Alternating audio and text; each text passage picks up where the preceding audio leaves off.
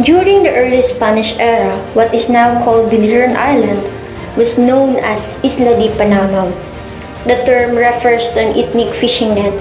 The present name, believed to be adapted sometime between the late 1600s and the early 1700s, was, according to many publications, derived from a native grass called borobiliran, which once grew abundantly on the islands or plains.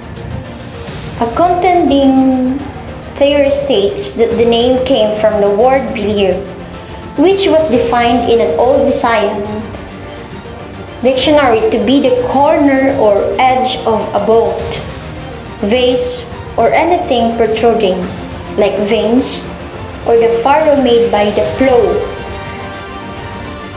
The dictionary also gives biliran as an alternate spelling for bilir. This theory is supported by the fact that Biliran was site of the first large-scale shipyard built in the 1600s.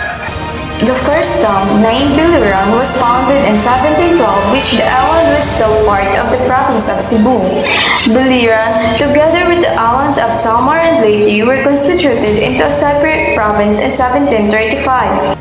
Later, when Samar and Leyte were split in two provinces in 1768, Biliran became part of Leyte.